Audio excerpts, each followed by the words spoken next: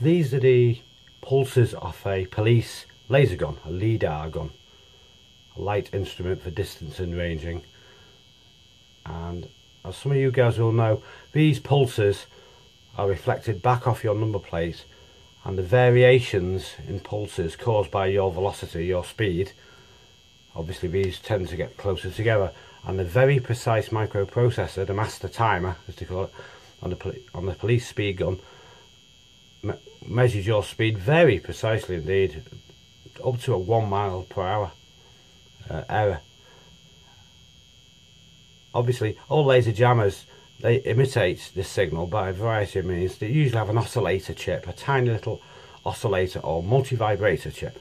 A one-shot multi-vibrator is the correct name for it.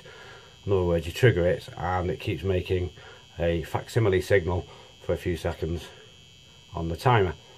So I just thought I'd put this on to educate everyone and demystify this laser jamming LIDAR subject. Of course, this is a fairly old LIDAR gun, fairly old police LIDAR gun.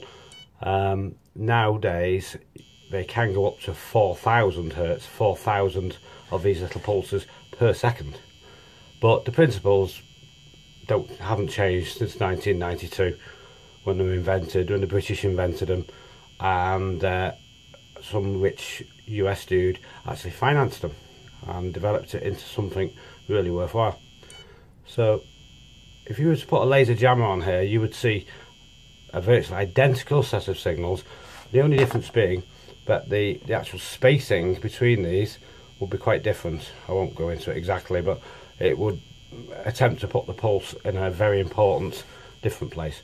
So I thought that might be useful to you guys and you know a bit interesting just to show you how you lose your $500 and your 150 pounds speeding fines and how they end up taking people's licenses off them, which is what we don't want, of course. Okay, see you guys. Bye bye.